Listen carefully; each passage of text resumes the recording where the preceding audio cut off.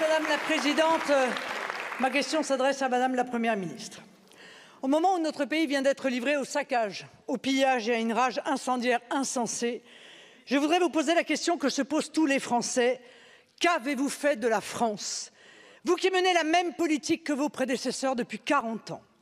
Qu'avez-vous fait de notre pays en y implantant des zones de non-droit que vous avez laissé se communautariser, se criminaliser? Qu'avez-vous fait lorsque vous avez laissé prospérer l'ignorance de notre culture, l'hostilité à l'égard de l'autorité légale de l'État, l'illégitimité de nos lois et la haine de notre peuple? Qu'avez-vous fait pour transformer notre pays parmi les plus courtois, les plus élégants et les plus doux de la terre pour en faire un enfer où se consument avec les bâtiments publics qui brûlent toutefois en l'avenir? Ce spectacle afflige le monde entier et notre pays, qui fut tant admiré pour son rayonnement intellectuel et sa puissance, suscite aujourd'hui la pitié quand ce n'est pas l'ironie. Vous n'avez tiré aucune leçon des émeutes de 2005, pas plus du Stade de France qui laisse augurer un désastre sécuritaire pour les JO de 2024 et avec lui une nouvelle humiliation nationale. La vérité, c'est que vous n'avez voulu entendre aucun avertissement.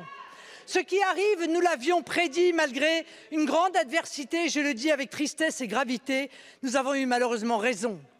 Au moment où vous vous apprêtez à nous resservir à coups de milliards un énième plan banlieue, je vous appelle au courage de l'autocritique, à l'humilité d'admettre l'échec dramatique de vos politiques. Il faut d'abord et avant tout stopper l'immigration anarchique Or, vous êtes en train d'aggraver le problème du communautarisme, voire du séparatisme, et de le disséminer dans le moindre village. Il faut ensuite reprendre la main dans tous les quartiers de France, rétablir l'autorité des parents, refaire de l'école le creuset de la République, rendre à la justice sa fermeté, sans laquelle elle restera impuissante à protéger les Français. Merci beaucoup, Face au chaos sécuritaire, économique et judiciaire, allez-vous enfin admettre que le seul sursaut possible La est parole. national?